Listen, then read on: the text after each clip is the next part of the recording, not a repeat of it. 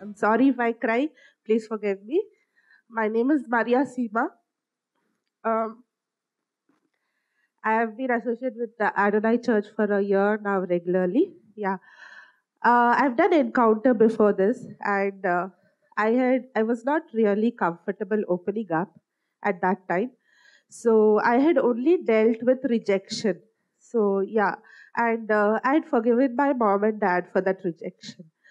But there were so many things that I had not opened up. I didn't know that they could have so much effect on me. And I thought that was okay because that was in the past. And I thought maybe, see, it's not only me who's gone through like this, there are so many others who have gone through. And I always felt, you know, कि that's okay, that's okay. कि जो हुआ हो गया, that's all in the past.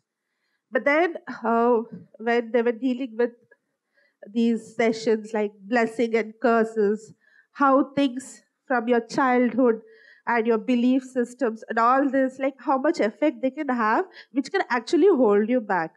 So, so I was actually when I was very young, between the zero to twelve years, I've gone through abuse from my father.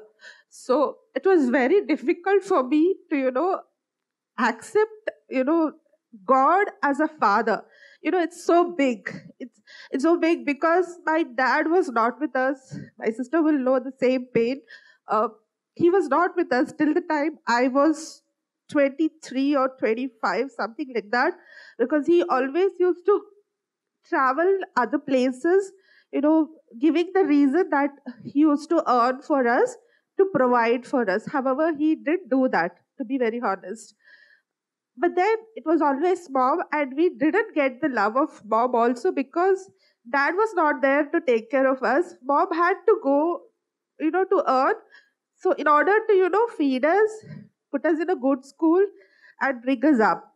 So, it was difficult because I didn't get the love of both father and the mother. And because there was abuse from father i couldn't even stand you know i judged like no there's no protection around me.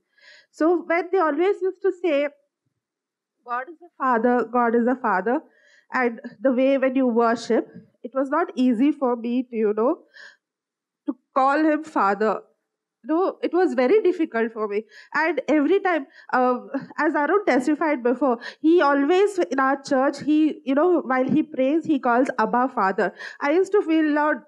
How can I actually call him? Because when I didn't get that protection from my own father, how can I trust on you for that protection? But then, every time that I used to be in home, I used to be so scared even till I came to HDC. I used to lock myself in the house and sleep just because that terror was so terrifying for me. I never used to look at my father and talk also. And every time I was late from office, he used to call me. I never called him back. Never, never in my life. But after I had these sessions here, and then when the ministry happened, when I renounced all those effects, I was so glad that there was a huge pain that was on my heart. I just felt it was lifted up. I was so glad. And I just saw a missed call in my phone from my dad. For the first time in my life, I called him back. And I was like, How are you, dad? He felt so happy. You know, that pain that I had, he is capable of removing it. And today, when the healing session was happening after the breaking of bread, I could actually call him Abba Father. And that's, it might not be a huge thing for others, but for me, for me to worship him as a father who can actually take care of me is so big for me.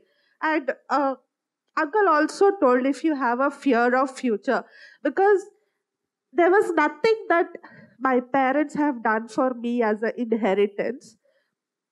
I used to have this fear. I used to keep myself so busy in the office that throughout the week, Monday to Saturday, morning 9 to night 9 or 10:30, I used to be in office or in office work or be involved in one of the church activities so that I don't have to go back home early, either then to eat and sleep.